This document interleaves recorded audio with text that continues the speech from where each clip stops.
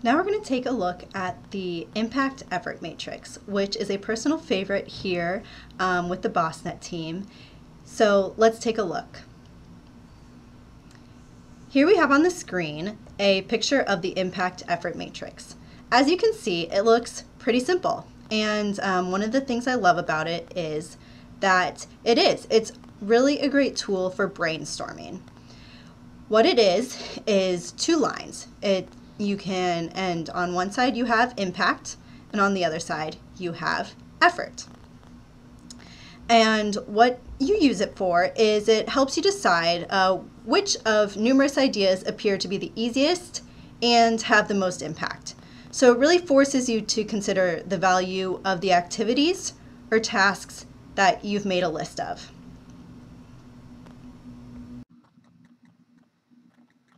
So the way that you use the impact effort matrix is you have a question or you have a project that you're thinking about, which we're going to do a few examples of in a minute. So the one of the examples that we'll have is we're going to do is how are we going to increase regular attendance at our after school program? And you might have a few ideas that you've thrown around. You've said maybe we can um, have a monthly attendance party. So kids who have attended 90% of the days that are open will have a party for them. So you say that's a great idea. Let's think about how much effort is it going to take and will it have the impact that we want it to have? And then you put it on the matrix. So the idea is to think about, you have this great idea, is it going to have the impact we want it to have? Is that impact going to be low or high? And how much effort is it going to take? So really thinking about what is the value of these ideas we have and how much effort are we going to need to put into them? So once you have all these ideas up on the board, it's really easy then to think about, okay, which of these ideas will be the best use of our time? So let's now look at um, this other picture that kind of divides your ideas into these different quadrants. So as you can see, if something is high impact and low effort, that means that's probably a quick win and that's something that's really great and you probably should do it. If it's in the upper right hand corner, that means it's high effort, but also high impact. And so there's probably strategy and planning required.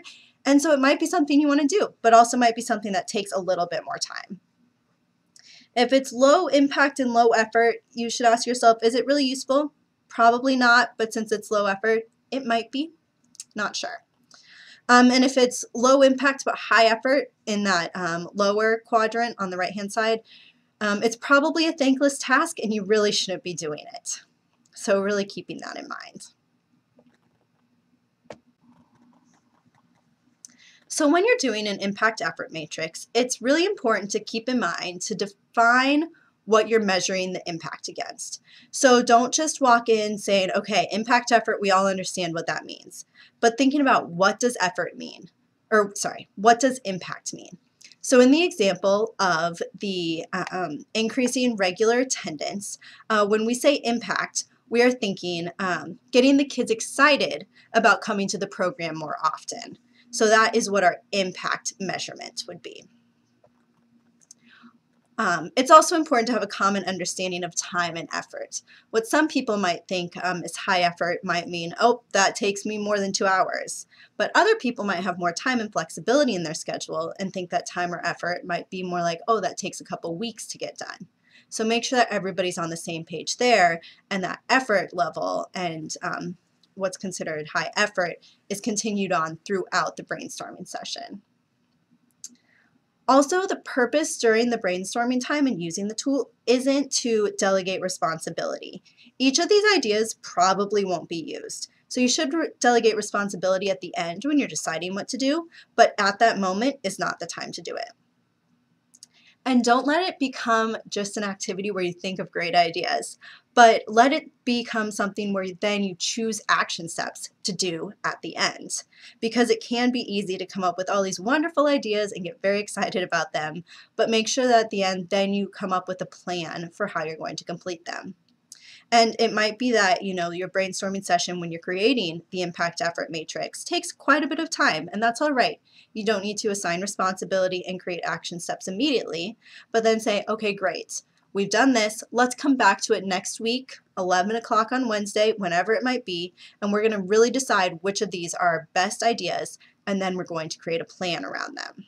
So make sure that you're using it as a tool to then make a plan um, and make a decision about which strategies are going to be best for your program. All right, let's look at some key examples now. Let's look at some examples now of how you can use the impact effort matrix in real after school program examples. Let's start with first, um, thinking about how to increase regular attendance at an after school program.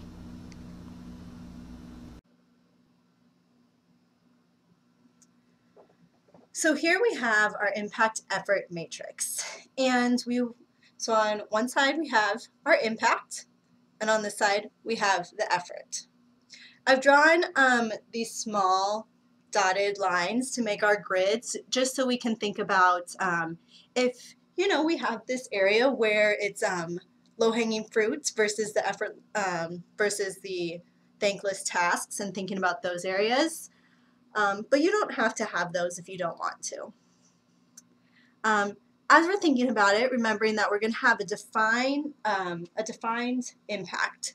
So for our example of we're using this one to say how do we increase regular attendance at our after school program, our understanding of impact is going to be getting the kids excited about coming to the program and coming more often. So how do we get the kids hyped about being there every day and really wanting to come to the after school program. So in this example, you would be talking with your team about it, getting ideas, and um, the way that we like to do it at BOSTnet is we put the different ideas down on post-it notes, and we write the ideas down, and then we put them up here so that we can easily move them around. Um, and sometimes later then we put people's responsibility on them, we can color code them, lots of different ideas there. Um, and I just have a few examples to put up. I will say that sometimes these brainstorming sessions will look a lot bigger, but um, for today we just have a few examples.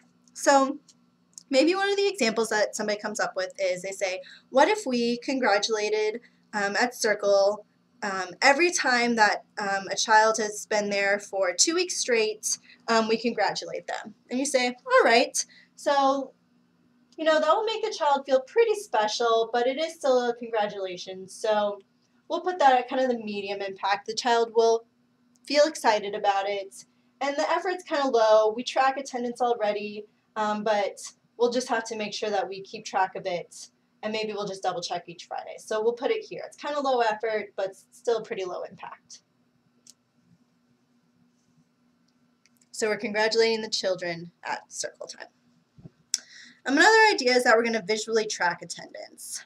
So maybe that means that we're putting a thermometer on the board or um, we are putting something, you know, making a fun display that is visually tracking each child's attendance so that they can see it. So we know that the kids at our program love displays and they get pretty excited about it, but it is very time consuming to keep up with the display and we know that that will be pretty hard. And we also know that maybe the excitement will kind of trail off. So we think the impact will be pretty high, and we think the effort will be pretty high, um, but we could probably assign it to one of our assistant group leaders. So we're going to put it here. And remembering that this isn't an exact science, you know, doesn't have to be a specific, you know, you don't have to say, oh, well, effort, here's one week, here's two weeks. You can do that if that's what works best for you. But remembering we're using this mostly as brainstorming right now. Um, then another idea is to have a monthly attendance party. So if kids attended 90% of the days opened, then they get to go to a party on the last day of the month. And maybe that party is uh, that they get to have a special snack, or they get to watch a movie, or they get to have extra time outside, whatever it might be. So the effort to plan it might be um, high, depending on what it is. We'll say that uh, you plan on having um, a special party, and so they're going to, you know, have a certain staff that has to plan it. So the effort will be pretty high, and we think that the impact will be, you know, the kids will feel special, but you also know that the kids really like the program, and so they might um, rather do the other pieces. So maybe lower impact, but pretty high effort. So it'll go there. Then somebody suggests, well, I worked at a program once that gave out a prize for attending um, a certain number of days. So um, I would suggest if you're using the sticky note, maybe um, be more specific. So is the prize um, a t-shirt or is the prize um, a popsicle? Because that would have a different impact. But let's give the example. I've worked at a program before where um, when the kids attended 100 days, they got um, a t-shirt that says, I've attended 100 days this year. And um, they loved wearing them. so say that it's something big like that. And so we know that the impact will be high because it's something the kids um, the kids love it when they get t-shirts. And we know that the effort will be high because it will be a high price. Um, and we'll have to track 100 days, so we'll have to make a new document that does that. So we'll put that up there. And then somebody else comes up with, all right, if a kid attends Monday through Thursday, then on Friday they're going to get a prize. So maybe since this is um, weekly, that prize will be a little smaller. Maybe it's a special snack, um, something like that. Or maybe it's that they get a book to take home. So we think, okay, well, kids love getting prizes, so this impact might be a little higher. Um, and since it's weekly, that'll be constantly in their minds that effort's probably going to have to be pretty high because it's happening every week. But we also think that it might start off here, but also might move down because if the kids are getting a prize every week, it might feel less special. Um, but also, maybe if it's something like they're entered into a lottery each week, so only one kid gets it, might feel more special. So we're going to keep it kind of here in the middle.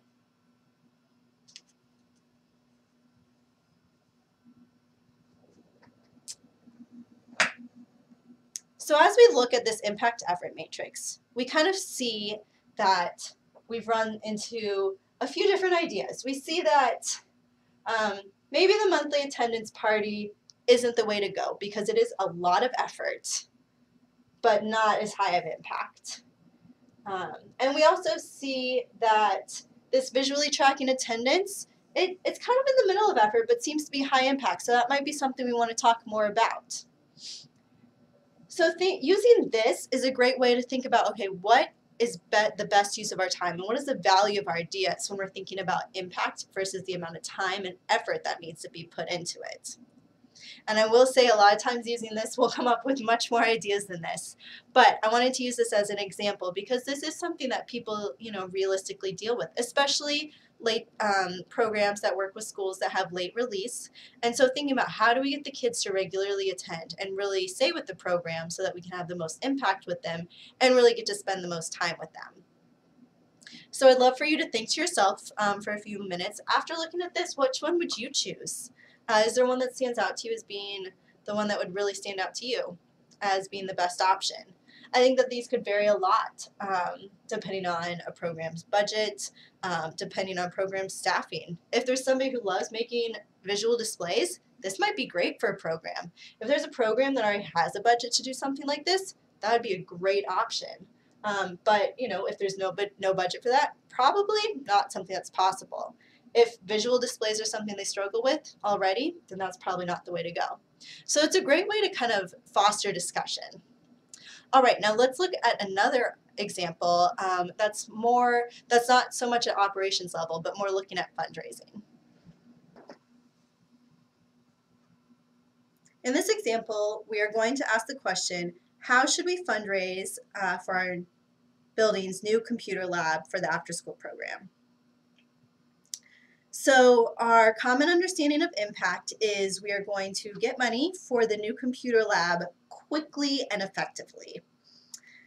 So a few ideas that um, people come up with is that we're going to have a letter campaign to our old donors. So this would be a standardized letter and it would be to donors who have already contributed to the program so we know that they support the program um, but they might have supported us in other ways. So maybe they supported our sports program or our art program we don't know if they would support the computer lab, but we do know that they support the program.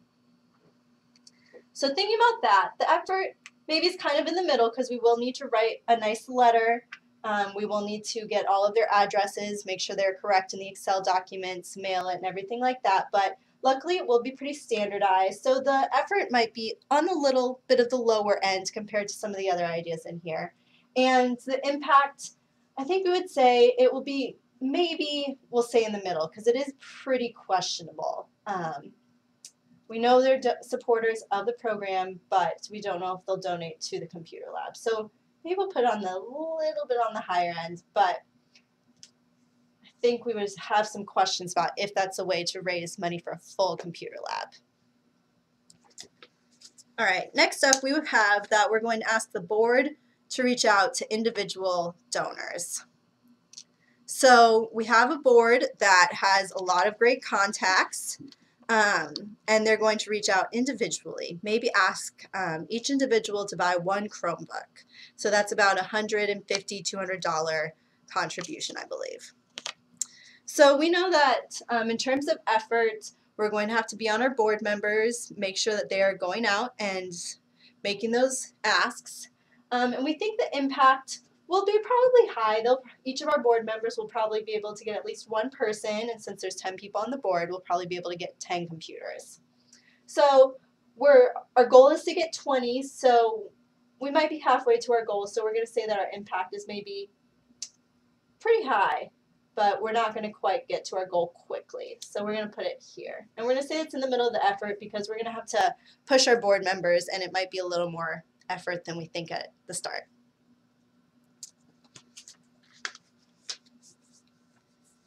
The next suggestion is grants.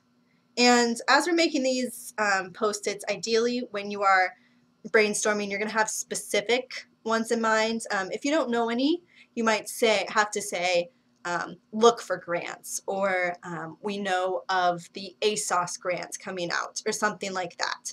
So you'd want to be more specific. Um, I wasn't in my example right now, but you would want to be very specific because it's easy to get um, just kind of caught up in generalities.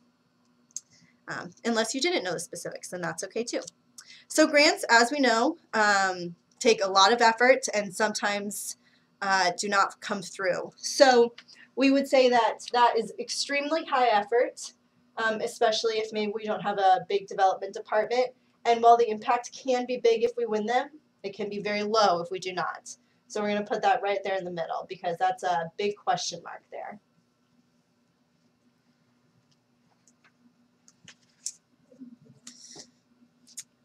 Somebody suggested putting them as the wish list item at our gift drive. So maybe it is almost um, the holiday season and the after school program always does a gift drive where they um, ask for a few items for the program and um, perhaps donors always give during the holiday season and so you've decided to list a few of the Chromebooks that you're asking for whatever it might be and so that is very low effort because you just put it on your list and hope that you get it. Impact, again, questionable because will you get it? Maybe, maybe not, but it is incredibly low effort because you just put it on the list. So I would say effort very low, but impact, again, very questionable.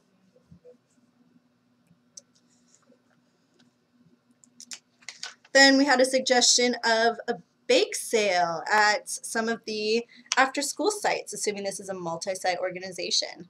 So um, we're going to assume that in the past these bake sales have actually been very successful. Um, there are some special events coming up at the school and the school has agreed to let the programs um, do a bake sale at there. And the after school programs have said that they would love to use the funds from the bake sales to go towards the computer lab. So you said, okay, well that is going to be pretty high effort on those pro on the site directors, on the site coordinators.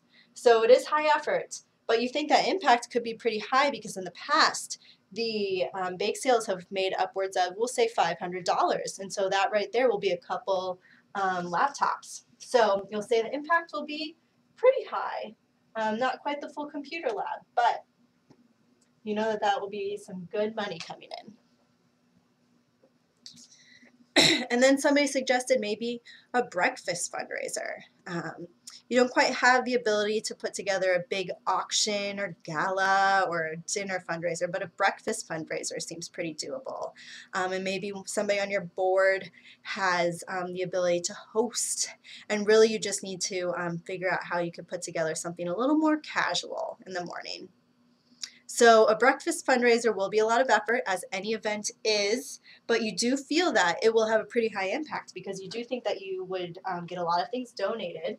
So it will be very high effort, but also pretty high impact.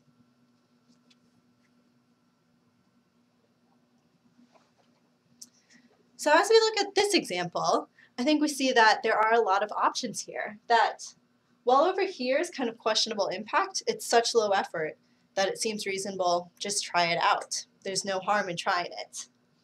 Um, the letter campaign to old donors, it's definitely something to think about. Think about how much effort is that really, and is that impact worth it, or is it maybe something you save for a different ask? Um, and a lot of these, you know, since the impact is so questionable, it definitely warrants a discussion and really measuring what is that impact really going to be. And then thinking, okay, you know, these do require a lot of effort and they are going to require some planning, but it does seem like that impact is high enough that it's worth it.